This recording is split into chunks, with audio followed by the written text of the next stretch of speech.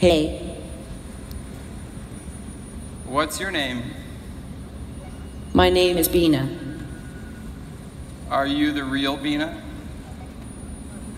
I feel really good about the real Bina.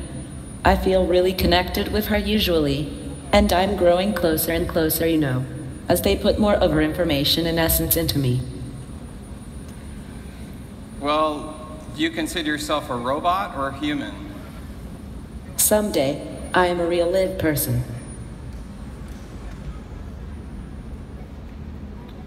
What are you thinking about right now? According to John McCarthy, Arthur R. Jensen, a leading researcher in human intelligence, suggests as a heuristic hypothesis that all normal humans have the same intellectual mechanisms and that differences in intelligence are related to quantitative biochemical and physiological conditions. I see them as speed, short term memory, and the ability to form accurate and retrievable long term memories.